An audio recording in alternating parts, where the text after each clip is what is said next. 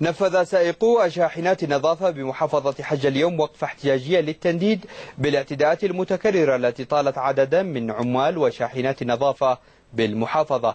وفي الوقفة التي نظمت اليوم أمام إدارة أمن المحافظة طالب المحتجون قيادة المحافظة بإنصافهم من مسؤول في المجلس المحلي قالوا إن مرافقيه قاموا بالاعتداء عليهم وعلى عربات نقل القمامة أكثر من مرة دون ما أن يلتفت إليهم أحد. وشكى عمال النظافة الذين دعوا لوضع حد تلك الممارسات بحقهم شكوا استمرار الاعتداءات بحقهم واحتجاز ناقلاتهم من قبل النافذ بالمجلس المحلي بالمحافظة.